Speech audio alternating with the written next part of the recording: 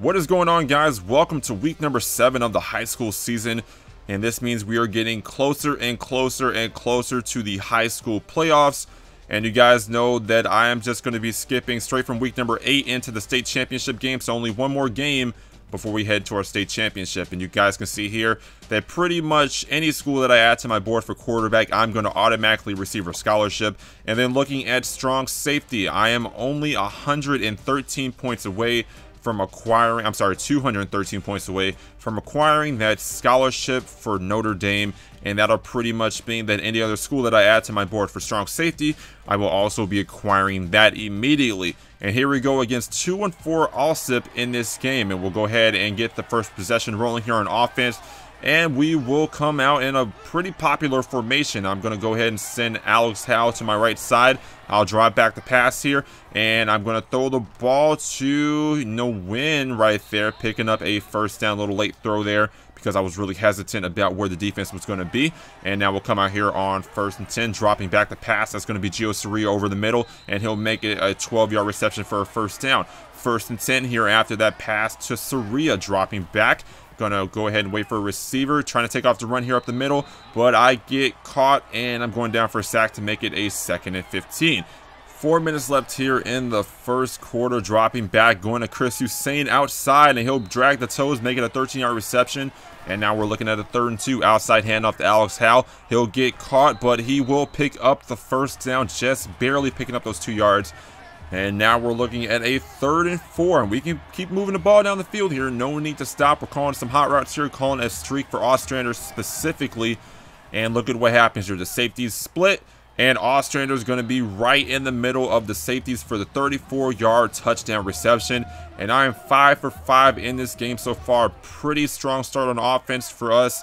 And hopefully we can continue to be strong on defense. There goes the quarterback taking off the run.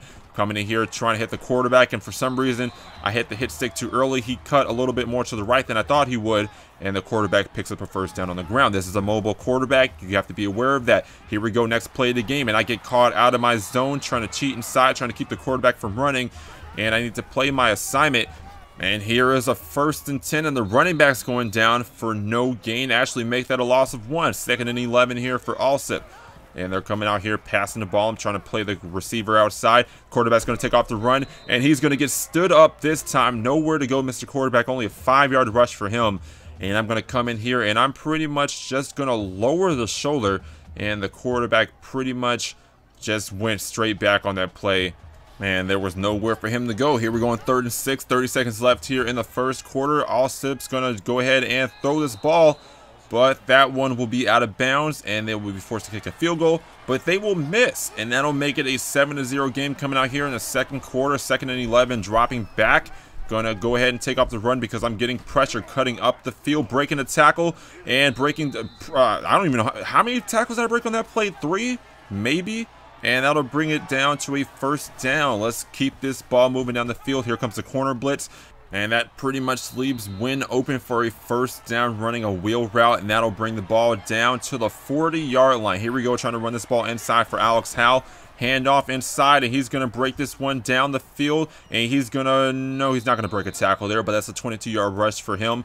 And that'll get the running game going. So a nice little mix of run and pass whenever we can get it. And first and 10 here, calling a slant over the top for Bennett, dropping back, and he'll get the pass there. And that'll be a 9-yard reception, setting us up pretty much right at the 10-yard line. That's pretty much where we want to be. And we'll decide to come out here running the ball. And you guys can see there, I'm 7 for 7. And Alex Howe almost gets into the end zone on this play. But he'll be stopped just short. And that will bring up a first and goal with about 3 minutes and 50 seconds left here and I decided to just go ahead and try to run this one in for myself. I'm being selfish. I need those recruiting points. And I'll take off to my left and just cut this one up the field. And another zero-yard touchdown there for me like it was in the last game. And here we go back on defense. 2.58 left in the second quarter. Alsip's moving the ball down the field. Play action pass. And that one's going to the running back. And I come in here and I clean up the running back. Just lay him out like I did the quarterback. Pretty much nowhere to go and I keep the running back to a gain of six. There's no telling if he was going to break that tackle, on the corner, number 25, who was out there. I believe his name is Ostergaard or something like that. And here we go, first and 10, dropping back in coverage. Quarterback's going to take off to run. And oh my goodness, I get late. I, I get stiffed on. Oh, I, I should have cut that play out. That was disgusting. I don't even know what happened there. And now we're coming out here on second and six, and I missed the quarterback. And that, oh no, he's taking that one into the end zone for a touchdown. 42-yard rush for Alsip and I cannot believe that just happened. The camera shifted so weird, and I, I, was just so late trying to get that tackle, and we get the ball back with a minute 31 left here, and we'll drop back the pass, trying to take off the run, going to get tripped up, and I'm trying to get out of here, breaking a tackle, picking up seven yards on that rush, and we are trying to get another score here to try to get some momentum back, because that run right there by by Alsip that that pretty much killed our momentum, and right there, trying to set up the screen, but it just didn't work out and it took me too long to throw the ball the other way and that'll bring up a fourth and three and obviously we are trying to pick up this first down because we don't want to give the ball to Alsip with a minute left and let them move the ball down the field trying to get some points and we don't need that so we'll come out here in fourth and three calling a bunch of hot routes here and that's going to be Saria over the middle he hangs onto the ball there and picks up a first down. Coach calls a timeout. And check out what happens. I think I haven't pointed this out in previous videos, but our coach has changed literally four or five times in the high school season, and also the assistant coach. And every time it's either a white guy and a white guy or a black guy and a black guy. I don't know what this is. Is this, is this affirmative action in work in high school? I don't know what this is, but we'll have a first and 10 here. 47 seconds left in the half. Ball is going to be at about the 45 and we're sending Weisbecker into the flat on this play, dropping back, but look who's open. Ostrander on the right side. I could have gone inside to the slot receiver, but I just didn't feel like going there. Here we go, third and 15, 10 seconds left. Nice little situation here, trying to get some points, and just launching that one over the top into Gio Saria for the touchdown. And I really wish that they kept track of touchdowns in, or kept stats in high school mode, period, because I'm pretty sure Gio Saria is leading the team in touchdowns. And there goes the quarterback, loss of 10 yards, trying to set up the running back screen. And that one does not work out. Third and 25, and I'm coming here trying to get the quarterback, and he's so lucky that he didn't keep that ball. And that would have been a safety if I didn't like freak out after the running back got it. And yeah, that, that pretty much just happened there. So here we go on second and 14. Nice block outside by Saria. And I'll spin, taking that one down to about the 15, second and inches here, trying to get a touchdown to increase our lead once again. We still got this quarter and another one to work with. Dropping back, trying to get into the end zone, and I get a four-yard rush there, and I pick up the first down. Look at me getting hype over a four-yard rush. And here we go on second and goal, still in the third quarter, dropping back, and that's going to be Weisbecker opening the flat. He catches the ball, and he gets stood up at the goal line, but he does break the goal line and that'll be three touchdowns in the game for us on offense, throwing the ball.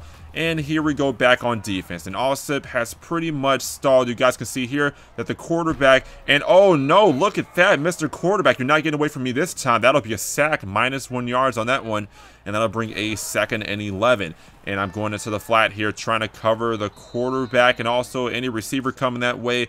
And that'll be another sack. And like I was saying earlier, Alsip, after that run that they had for 42 yards, after the first touchdown, has pretty much stalled in this game. Third and 16 here. And the quarterback's going to launch this one to the outside. That'll be a 14-yard reception, setting up a fourth and two.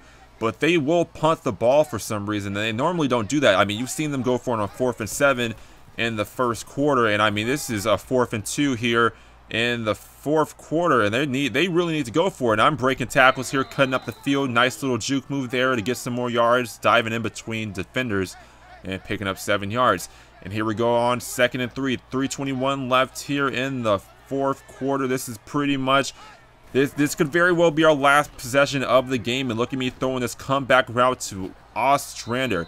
And if you guys throw that pass with anticipation, knowing that your receiver is going to break that, and you throw it right behind the receiver, there's no way the defender is going to get in the way of that. And I'm trying to go to Ostrander here and hoping he can cut up the field into the end zone, but he can't. That'll bring up a first and goal. Here we are, second and goal, dropping back, and that's going to be a rush up the middle, cutting to the left side of the field and the defender got juked out of his pants right there and I'm picking up a touchdown and that'll pretty much wrap up this game. Another win for us and pretty much we are handling road games. No pressure here.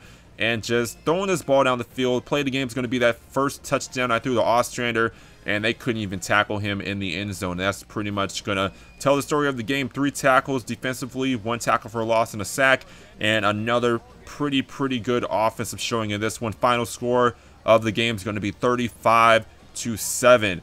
And like I said earlier, we only have one more game to show before we hop straight into the state championship game. And you guys can see here my stats on offense and defense right next to each other. 17 for 20, 240 yards, and 5 total touchdowns on offense. That is a pretty good game if I say so myself. Also, no interceptions in this game, so that really helped us out. And then we had a pretty decent game on defense, but we're still staying at that 3 caliber rating. And here we go, locking up the scholarship for West Virginia like you saw at the beginning of the video. And then we're locking in a scholarship with Arkansas. So that'll work out pretty well. And then here are the three new schools interested in me at quarterback. You're going to have BYU, Louisville, and Oklahoma. Obviously, you guys know that I won't be choosing Louisville for anything, so I'm going with Oklahoma. And then we have Wisconsin and Virginia Tech as the new teams on the board. And I will go with Wisconsin in this situation. It took me a while to decide what team I was going to go with, but in the end, I went with Wisconsin. And look at this, number 26 on the ESPNU Top 150. I'm definitely going to lock in that number one ranking by the end of the high school season, but that will be in another video. Week number eight is coming soon, and then we'll hop straight into the state championship game, and then finally into some college action, which is what you guys are all here for. But I want to thank you guys for watching this episode, and I will see you later.